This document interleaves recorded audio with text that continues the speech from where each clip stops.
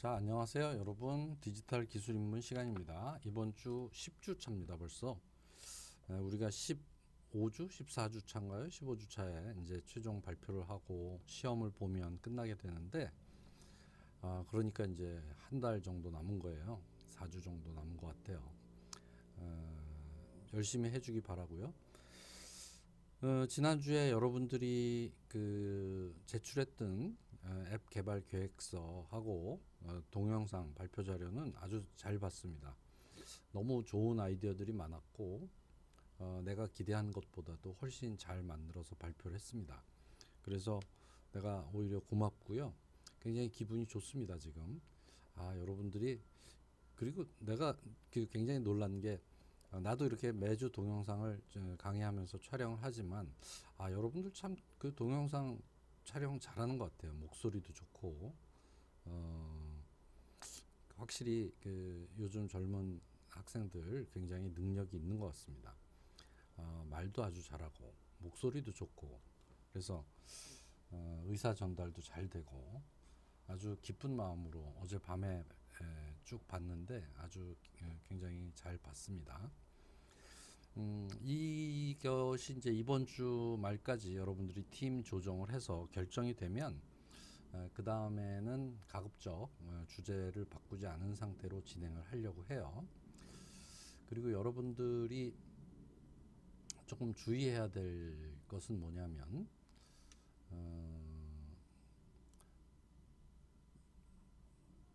지금 만든 계획이 지금 만든 계획이 어, 기술적으로 너무 어려울 수도 있겠다 이런 그 생각이 드는 작품들이 몇 개 있었거든요. 그런 계획을 세운 사람들은 너무 어려운 기술까지 구현하려고 애쓸 필요가 나는 없을 것 같아요. 왜냐하면 지금 우리가 하는 것은 에, 내가 이걸 하는 목, 목적은 내 생각을 어, 앱으로 구현한다라는 그 차원의 경험을 갖고 기술을 익힌다라는 거지 정말 아주 뛰어난 기능에 아, 그 우리가 앱스토어에서 돈 주고 사서 쓰는 어, 그런 앱까지 만들기는 쉽지 않거든요 앱 인벤터로. 그러니까 너무 욕심 많이 부리지 말고 아, 정말 딱 필요한 기능만 구현을 해서 나, 내가 생각한 것이 이렇게 잘 동작한다 라는 거를 어, 목표로 삼으면 좋을 것 같습니다.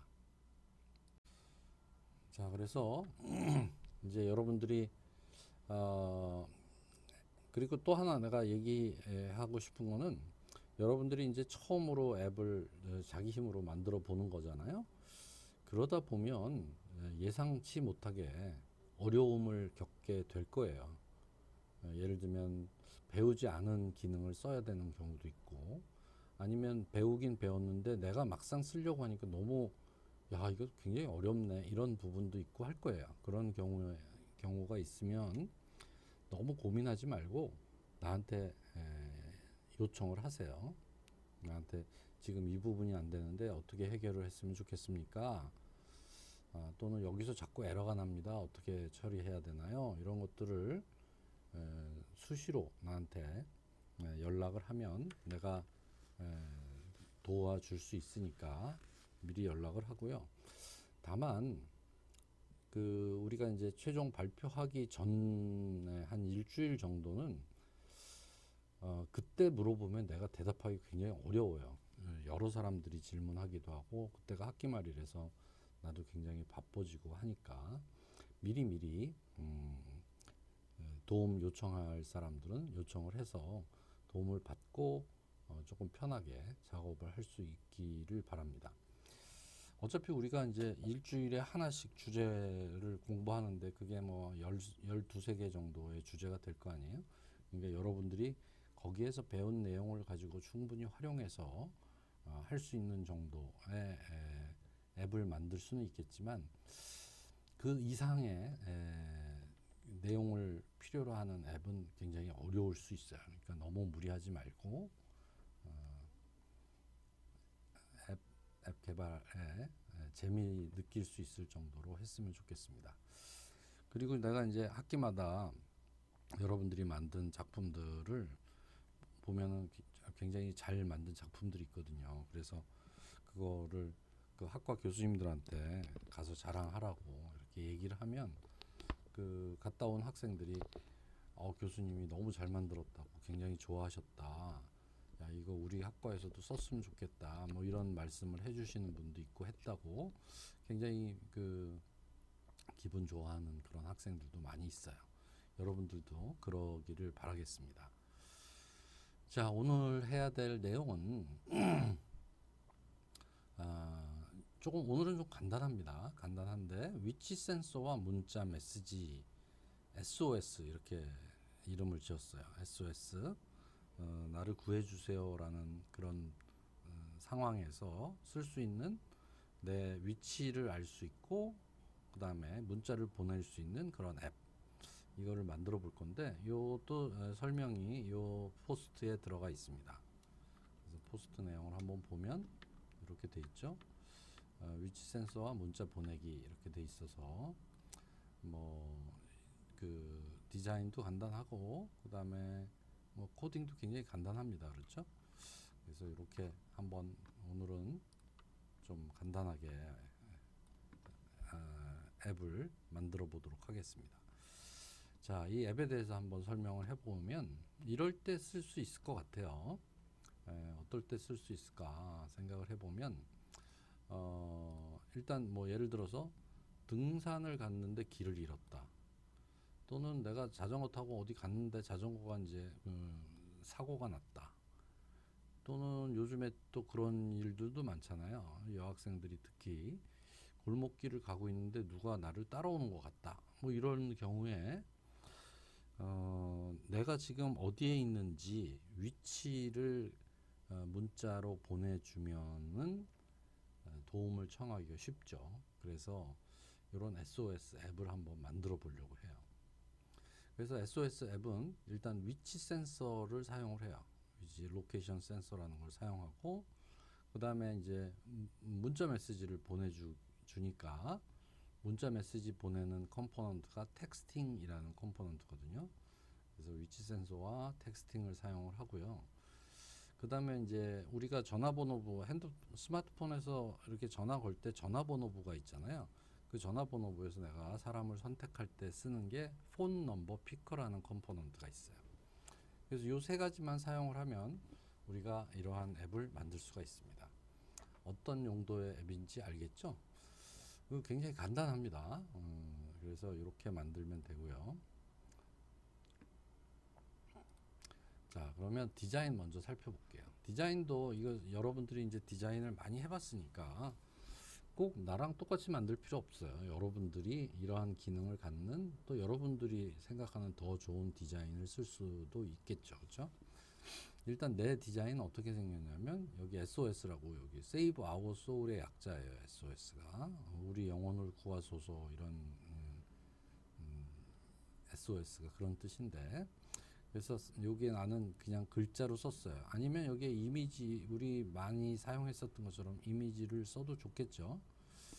그리고 여기에는 레이블로 음, 위치를 지금 현재 위치가 어딘지가 표시가 되게 해놨고 아, 여기서는 연락처를 표시할 수 있게 해놨어요.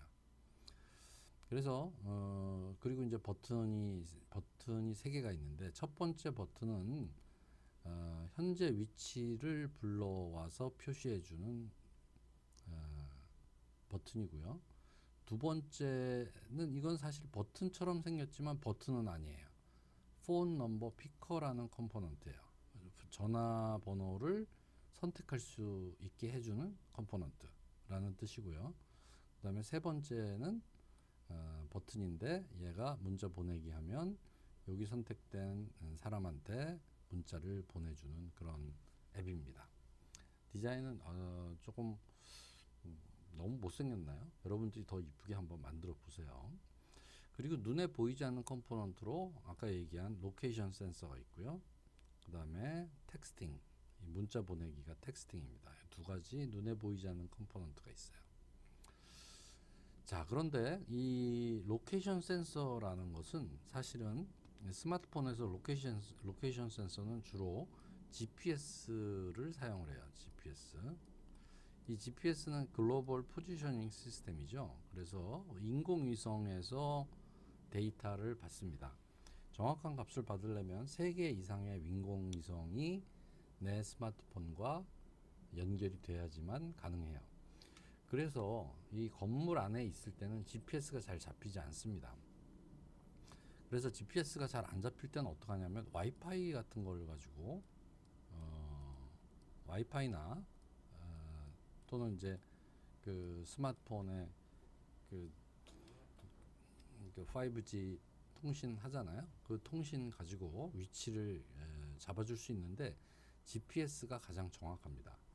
그리고 GPS가 우리가 사용하는 거는 GPS가 군사용이 아니기 때문에 오차가 좀 있습니다. 오차가 어느 정도 있냐면 어, 내가 테스트 해 보면 어, 한몇 미터 정도 오차가 납니다. 그러니까 한, 한 2, 3, 2, 3미터에서부터 어, 상태가 좋으면 2, 3미터에서 한 10미터 정도까지 오차가 생깁니다.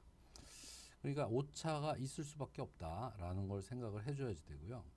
그러니까 여러분 그 티, 자동차 타고 갈 때 보면 자동차 타고 갈 때 보면 어떨 때는 이제 길이 이렇게 바뀔 때 어, 뭐 다른 길로 막 안내하고 하잖아요. 그게 왜냐하면 이 도로 폭이 한 10m 정도 될 텐데 어, 한 차선이 그 이게 지금 오차가 있기 때문에 아주 정확하게 우리한테 위치를 가르쳐 주지는 못하는 거예요.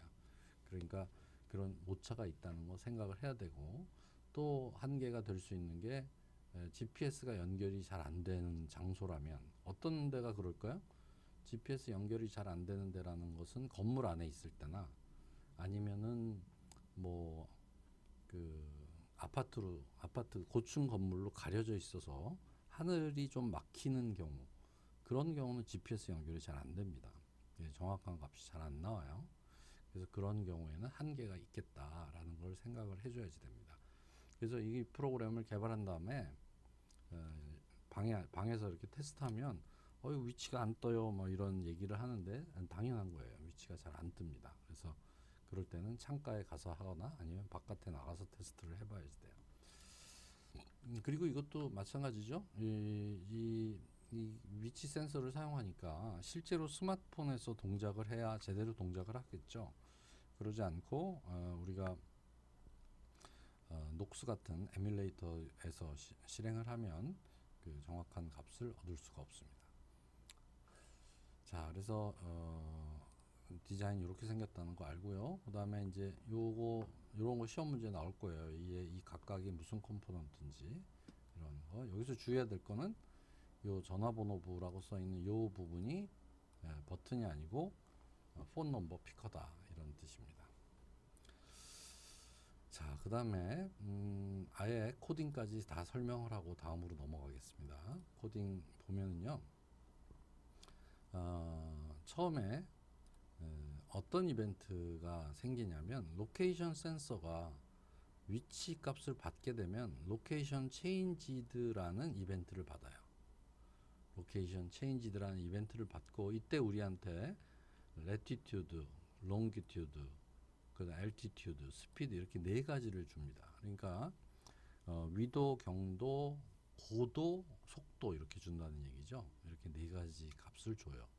근데 우리가 이 이거를 location sensor에 current address라는 component를 주면 어, 이게 이제 좌표가 아니라 이, 이 LT, longi, longitude를 쓰면은 좌표 값이 나오고요. 우리 이제 GPS 좌표가 나오는 거예요. 예, 그리고 그 GPS 좌표는 이제 GPS 좌표를 어, 읽을 수 있는 어떤 프로그램에 넣으면 정확한 위치를 찾아주죠. 어, 그러지 않고는 보통의 경우에는 그냥 주소를 써주는 게 더 편할 것 같죠. 그래서 current address라는 component를 사용하면 지금 위치를 주소로 표현을 해줍니다. 그 다음에 마찬가지로 location, 어, btn location 이게 이제 에, 현재 위치를 얘기하는 location인데 어, 버튼인데 그걸 눌러도 어, 현재 current address를 음, 보여주면 되겠죠. 이 LBL 로케이션이 위치가 있는 텍스트예요. 그 다음에 어, PNP라는 게 phone number picker의 이름으로 쓰는 건데 phone number picker가 touch down 얘가 눌려지면 어, phone number picker를 오픈해 줍니다. 오픈해 주면 전화번호부가 뜨는 거예요. 그리고 phone number picker after picking after picking은 여러 군데에서 나왔었죠. list list picker에서도 나왔고 after picking 하면 내가 그 phone number에서 뭔가를 선택을 하면 그러면 그때 에, 내가 어, 내가 연락처에 에, 이름과 전화번호가 나오게 이렇게 표시가 되게 됩니다. 그리고 texting이라는 버튼을 클릭하면 texting 버튼이 문자 보내기죠. 문자 보내기 버튼을 누르면 아, 도와주세요 하고 내 위치는 어디입니다. 그리고 어, 이- 그, 그 메시지를 이렇게 만들고 그 다음에 어떤 번호로 여기서 선택된 번호 어, 번호로 그리고 send message를 call 해주면 바로 여기서 만들어진 문자가 요 메시지가 요 번호로 어, 보내지게 됩니다. 그래서 어, 도와주세요라는 문자가 나오죠. 그 여러분들이 테스트할 때 테스트할 때 무슨 뭐 어, 아버 아버지나 어머니 전화로 자꾸 테스트하고 그러면 안 돼요. 그러면은 야 이거 무슨 사고 생겼나 그러고 걱정하시니까 자기 번호로 자기 자기 번호로 테스트를 해, 어, 해보는 게 좋겠습니다. 자 여기 여기까지 아주 간단한 프로그램이었으니까 우리 같이 코딩을 해보도록 하겠습니다.